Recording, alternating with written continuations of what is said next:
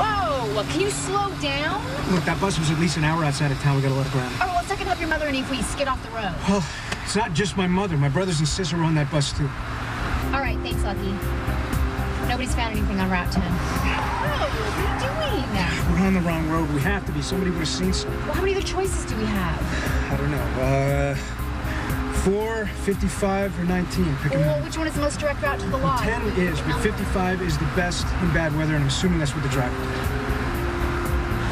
can't believe I'm gonna marry Sonny. I don't even know any of his kids, except for you, of course. I don't count. At least not Oh, shut kids. up. Sonny loves you. Well, good for Sonny. Just stop. Sonny would have loved knowing he had a kid. He loved Stone. He, he was really good for Jason after his accident. I mean, Jason needed a lot. He was almost like a little kid. Yeah, and then he then he turned Jason into his enforcer for his organization. Great. Uh, it wasn't. It wasn't exactly like that. Why, why do you always insist on thinking the best about Sonny? Why do you always insist on thinking the worst of Sonny? You know, when I found out that he was my father, I was pissed at my mother for a long time. I treated her like crap. And now I realize what it would have been like growing up as Sonny's kid. And I realize how good I had it. I, I, I, I grew up with a family around me with a lot of love. I mean, my biggest concern was worrying about whether the Yankees would make the playoffs or not. I was a kid. I had a lot to be grateful for, and that's all because of my mother.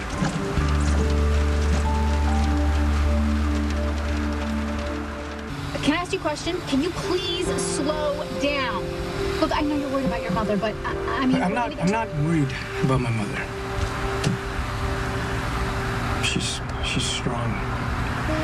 She's smart. She's funny.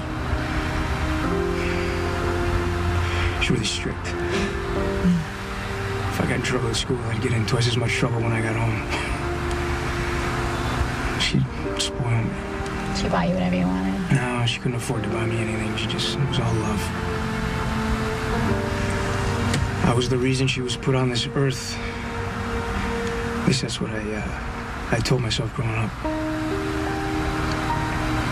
I mean, whatever I wanted, she tried to give it to me. With food, she'd make me whatever I wanted. And I was pretty picky.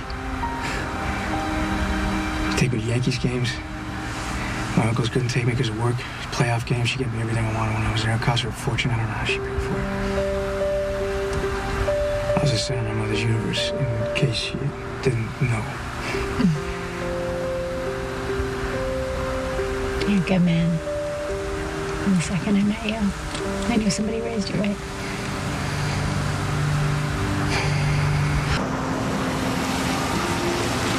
It's done. Hey, you guys okay? Hey, hey, All right. What happened? Oh, no, we're, we're fine. Nothing too serious. But how about you? I, I'm fine. Michael got me out of the bus when it flipped. I wasn't hurt at all. Hey, what, what about my mother? Your mom. Um, let me take you down to her. Uh, Molly, stay up here and Yeah. make sure, sure you, show, show the rescuers the way down. Okay? Yeah, yeah, we're okay. Hi. You're Brenda Barrett, right? Yes, I am. I'm Molly Lansing Davis, Sonny's niece. Oh my God. It's so good to finally meet you. Nice to meet you too. Are you sure you're okay? Yeah, I'm fine. Okay,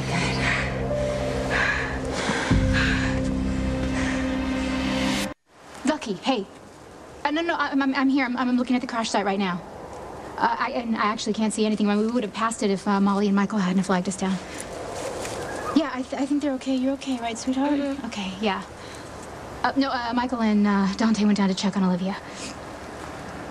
Okay. Okay, great. Okay, bye. All right, so the rescue team is on its way. The crash happened really fast. I bet. I mean, I guess that would be kind of obvious. If there's such thing as a slow crash, you'd be able to avoid it. Mm, I know exactly what you mean. It kind of just came out of nowhere, right? Yeah. I was sitting next to Michael telling him about the books I'm reading, which I'm actually rereading for the third time. Now I wish I'd been reading my first aid manual from Junior Lifeguard so I would have known how to help the people who were hurt. Oh, sweetie, you did perfect. You're perfect.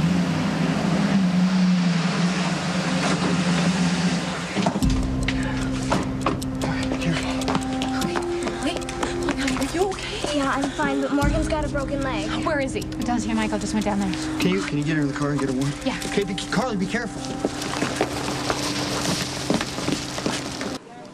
Sometimes the exact right thing happens at the exact right time. Hold on, I'm sorry.